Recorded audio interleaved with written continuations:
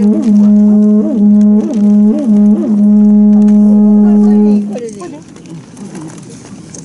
慢を重ねること一通年最後の最後に全国を制覇した天下人徳川家康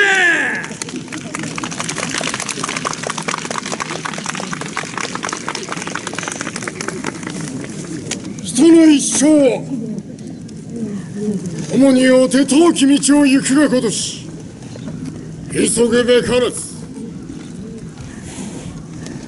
いつばの俺が主らを導かん。尾張直屋海部の僧徳川家康。はあ。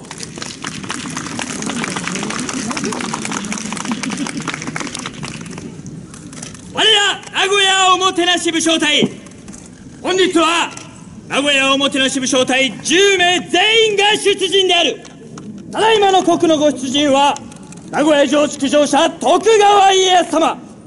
これより徳川家康様が港交流を図るべくご出陣してまいりまする。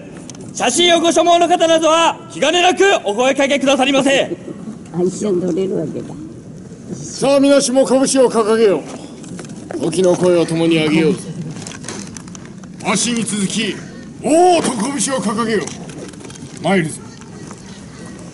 いいぞ。出陣。さあ皆しもわしに続け